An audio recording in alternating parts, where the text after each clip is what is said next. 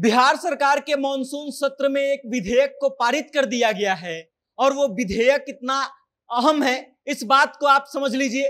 बिहार में anti paper leak विधेयक को बिहार सरकार ने पारित कर दिया गया है।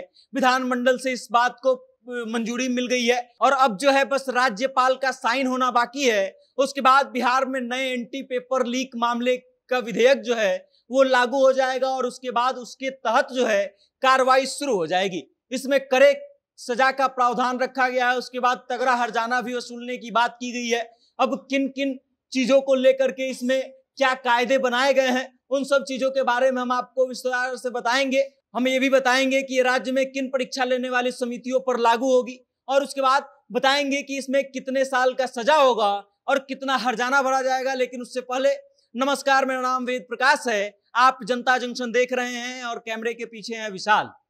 बिहार सरकार ने एंटी पेपर लीक विधेयक को मंजूरी दे दी है। याद कीजिए, आप जब नीट का पेपर लीक हुआ था, उससे पहले बिहार में कई पेपर लीक हो चुके हैं और हर बार, कई बार सरकार के लिए ये बहुत बड़ा मुद्दा बन जाती है। और इस कारण से इस बार एंटी पेपर लीक विधेयक जो है बिहार विधानसभा में पारित किया गया है, जिस समय विपक्ष ने वॉकआउट कर दिया है और इस चीज़ का बहिष्कार कर दिया है। हालाँकि विपक्ष के बहिष्कार करने का कारण जो है कुछ और है।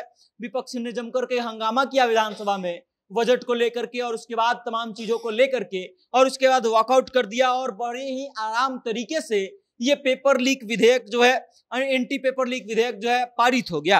अब इसमें जो सजा का प्रावधान है, कोई व्यक्ति अगर पेपर लीक में संलिप्त पाया जाता है तो उसको तीन से दस साल तक की कैद दी जाएगी। उसके अलावे उससे दस लाख रुपया से लेकर के एक करोड़ रुपए तक का हरजाना वसूला जाएगा और फिर सरकार जो है, इस पर कड़ी कार्रवाई करेगी। उसके अलावे कोई अगर कंपनी है जो पेपर लीक मामले में संलिप्त पाई जाती है तो उसको चार साल के लिए ब्लैकलिस्ट कर दिया जाएगा। और उसके बाद आरोपियों पर नन अवेलेबल वारंट जारी किया जाएगा। पेपर लीक में शामिल किसी भी व्यक्ति को छोड़ा नहीं जाएगा। इसकी जाँच जो है, वो डीएसपी रैंक के अधिकारी करेंगे। और उसके अलावा बिहार सरकार किसी भी जाँच एजेंसी को इस मामले की जाँच करने का ज़िम्मेदारी सौंप सकती है। अब समझिए कि किन किन समितियों पर यह लागू होगा। तो सबसे पहले बिहार लोक सेवा आयोग, बिहार कर्मचारी चयन आयोग, बिहार तकनीकी सेवा आयोग, बिहार राज्य विश्वविद्यालय सेवा आयोग, बिहार पुलिस अवर सेवा आयोग, केंद्रीय सिपाही चयन परिषद बिहार, अन्य कोई प्राधिकरण जो राज्य सरकार का के तरफ़ से आयोजित होने वाली परीक्षाओं को आयोजित करती है और अधिसूचना प्रकाशित करती है उन सभी के परीक्षाओं पर यह नियम जो है लागू रहेगा।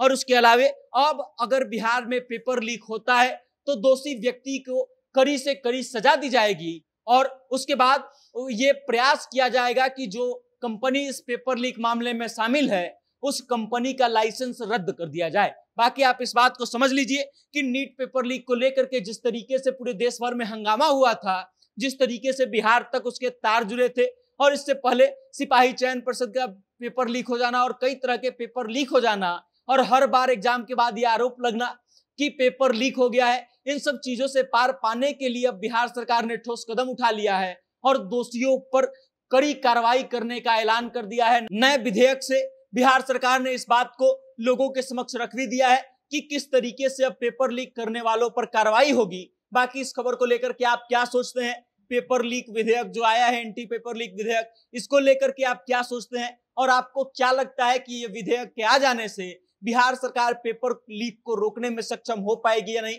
अपनी राय कमेंट के माध्यम से हम तक ज़रूर भेजिएगा और देखते रहिएगा जनता जंक्शन।